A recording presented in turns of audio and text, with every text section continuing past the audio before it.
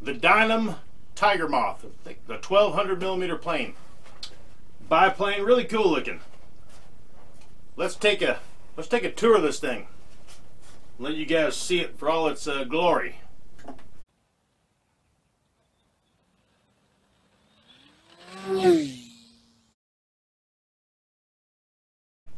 If you want to win a jet like this, all you have to do is subscribe.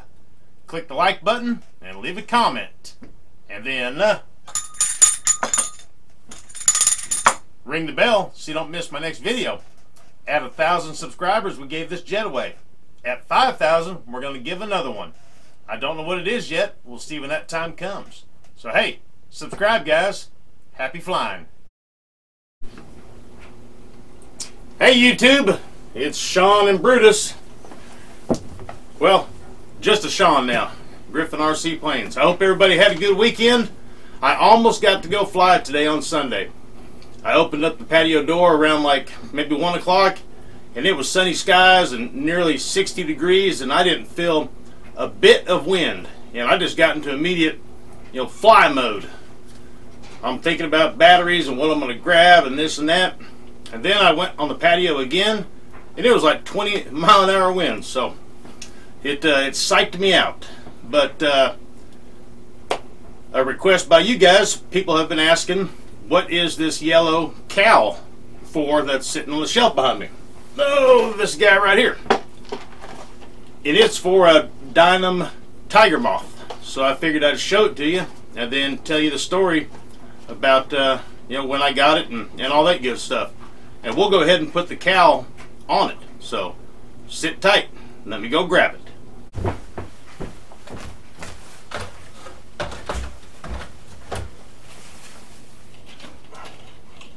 Gonna have to knock the dust and the cobwebs off this guy.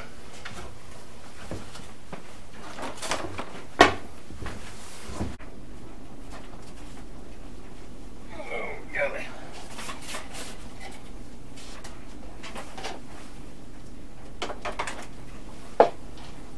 Alrighty then. Alright, the Dynam Tiger Moth. This was my third plane. I went from the Apprentice was my first, and after getting the hang of it and really flying the, you know, flying the plane to, you know, the most that it can, the battery was only lasting, you know, five and six, maybe eight minutes, and the price of lipo batteries, you know, four years ago was pretty dang expensive. So I said to myself, you know, oh, there's got to be a better way. So that's when I wanted to get uh, into glow planes. So my second plane was a, a SIG 4-star 54. And I bought it used off of a Facebook Marketplace. It was a uh, PNP. It had everything but the receiver.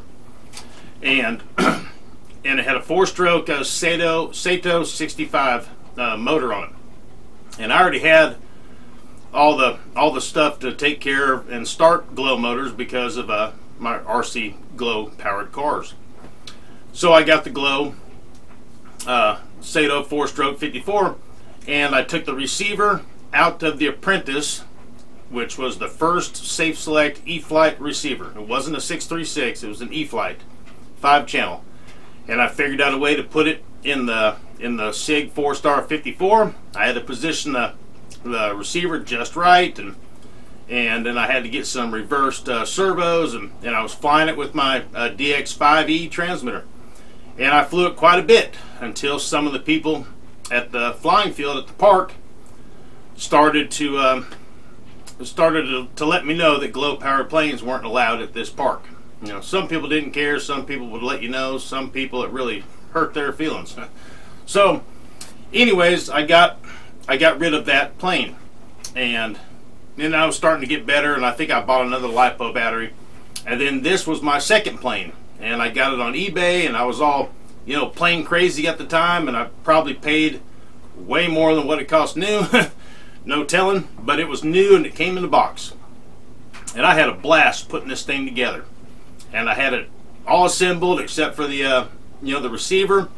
And in between the wings are these flying wires, and they do this cross thing. I'll show them to you and it you know it came with the wires obviously.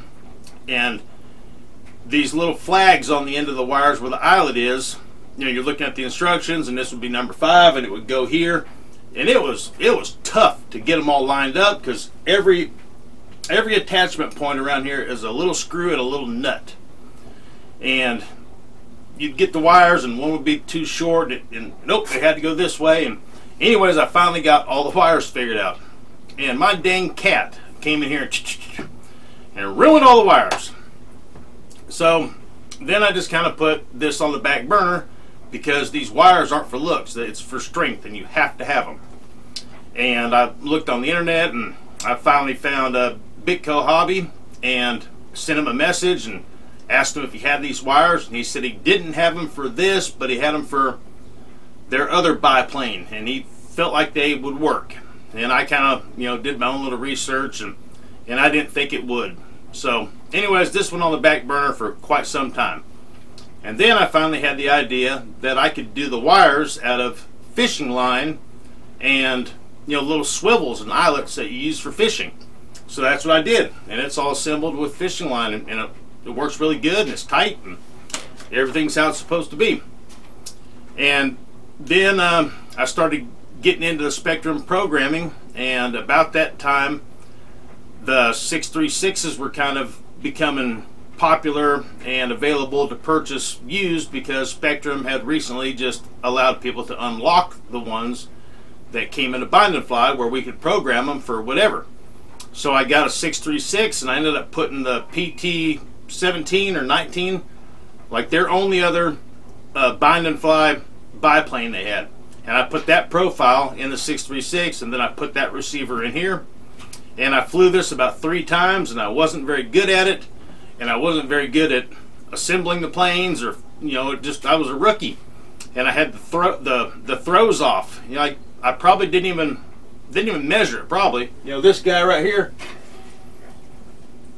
I probably didn't use it. You know this is how you can adjust how much travel. You know if it says max is you know 15 degrees or whatever I probably didn't do that and the time or two that I flew it, it was up and down and left and right, and it, it was bad. It was probably the gyro was off, and I had the, you know, the dual rates off, and, and, and it was bad. Anyways, I landed it, and it was in one piece. And then tinkering with it here in the shop, one of the things that was kind of weak was this was this tail back here. This this foam was just not as strong as others, and and when the tail wheel would hit the ground, it would kind of bend over and stuff. So I strengthened it up with some popsicle sticks, and I got the got the tail all uh, strengthened up. And keep in mind, I'm still a rookie, and you wouldn't believe what a couple popsicle sticks and some glue, how much that would affect the center of gravity. A lot. The next time I flew it, it was worse than what it was before. So then I learned about center of gravity. You know, looking at this plane, you know, the our, our seesaw, our teeter-totter, whatever you want to call it, from the center of gravity back here to the tail, these couple popsicle sticks and a little bit of glue is quite a bit of leverage on the center of gravity. So anyways, it was a good thing. Then I learned the center of gravity and I just started getting more, uh, more, more advanced in this hobby. So after I got the center of gravity figured out and, and got the tail and all that strengthened up, I never flew it. I think I got an extra 300 at that time, and this has just been on the back burner.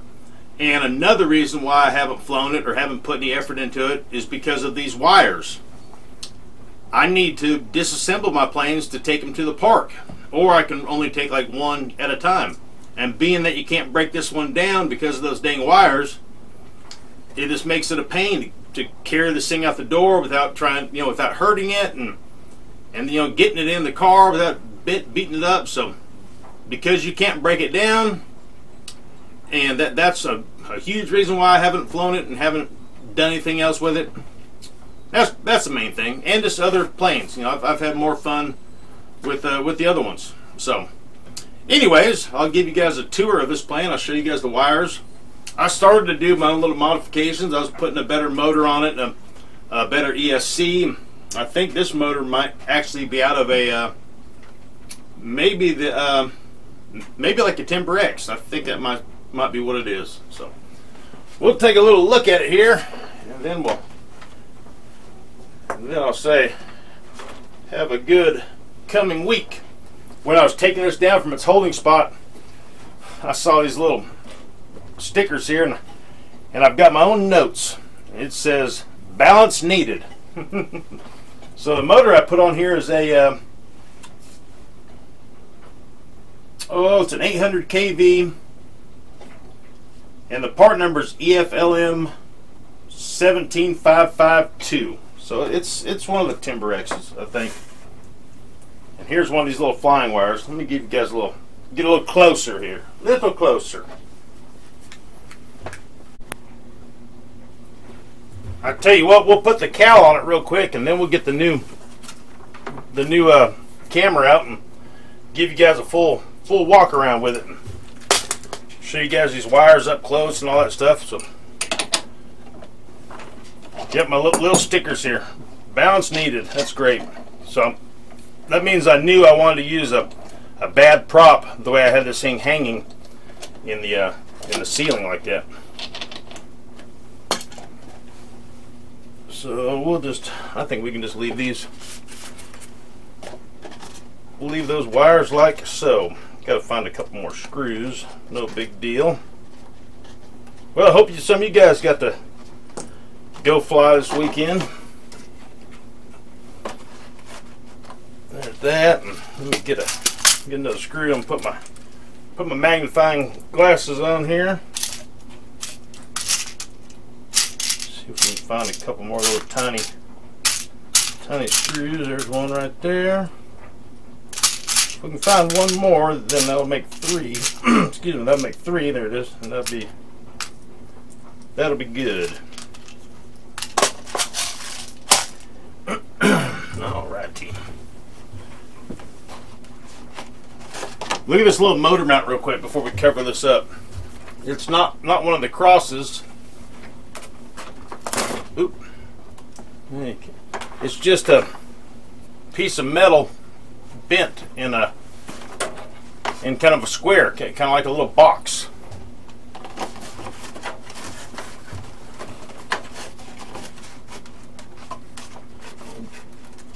Old Brutus just peeked in on me. like, all right, man.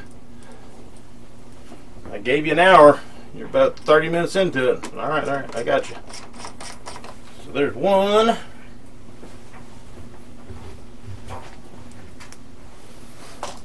and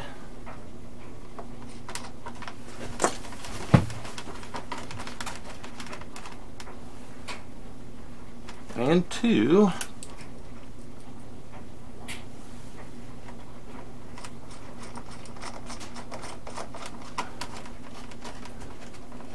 I think we'll just leave it like that unless this bottom one lines up real easily.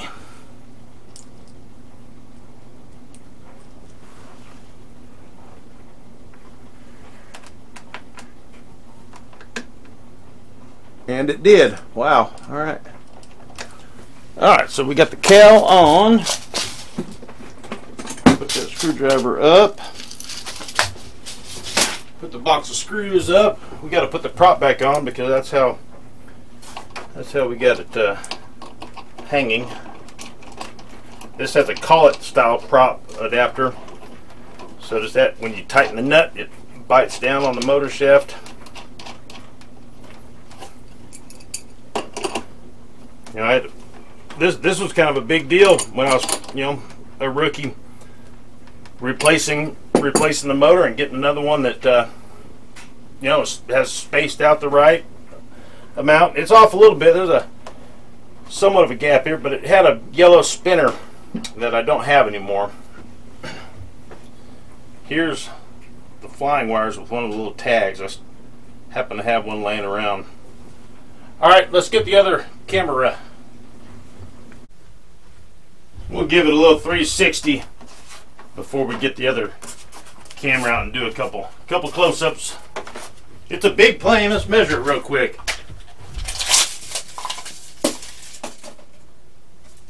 About 50, 50 inches.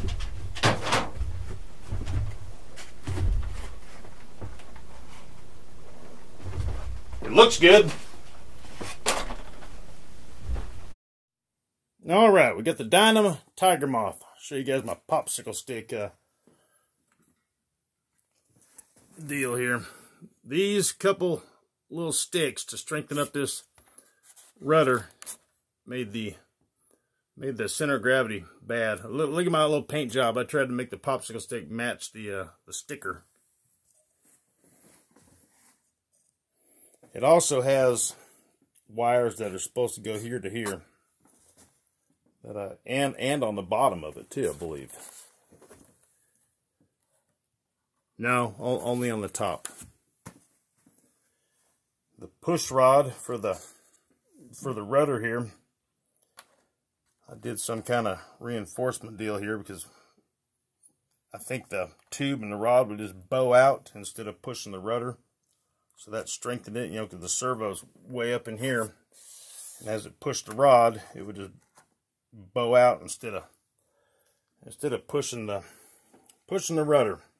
Here, I'll show you guys these wires. Here's what the wires started at. You know, the little flag would say number five, you know, goes uh, goes right here or what have you. And they're all little screws and, and nuts. Excuse me, it was quite the quite the job getting all these things, all the wires in there. Then my cat destroyed them. But I did them out of fishing. Had a, had a fishing tackle. And uh, they're fairly tight, and it uh, it works now. Show you guys in here. Here's my first little pilot little paint job. I guess he's half done. this is a, uh, a little bed I made for the receiver. And uh, it's only got one servo in there, so I guess I robbed it for something else.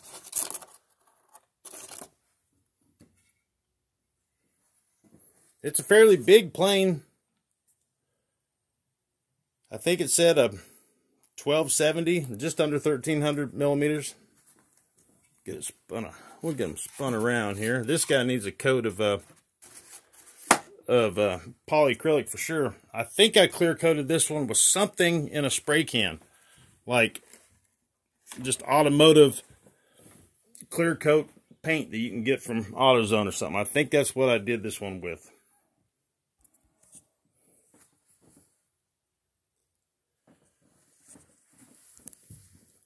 This suspension is unforgiving. I mean, there's no no shock and nothing. These tires are somewhat soft, but the way this the the battery goes up here, the the center of gravity is is weird, and it makes it makes the nose really heavy. Like if it had brakes, it would do an endo really easy. See, everybody that I've seen on YouTube flying it had to be real careful because when you land, it'll nose over really easy. I think I saw somebody else on YouTube that he shortened these and then bent the landing gear forward a little bit just to kind of change it.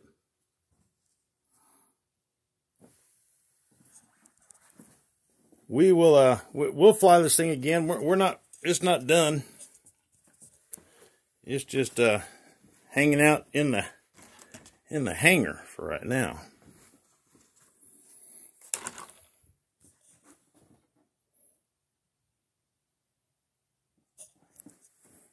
see what kind of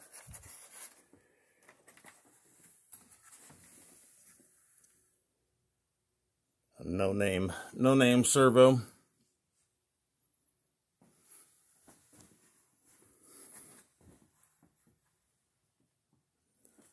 all right well now you know what the yellow cowl goes to that's been sitting on the shelf for so long my head's getting chopped off. Alright guys, hey, have a good rest of the week. Subscribe if you haven't. Give me a thumbs up. Leave a comment. And uh, this guy right here. Ring the notification bell so you don't miss my next video. All that really supports what I'm doing here. So hey, thank you guys. Have a good week. And until next time, you'll see me here. Adios.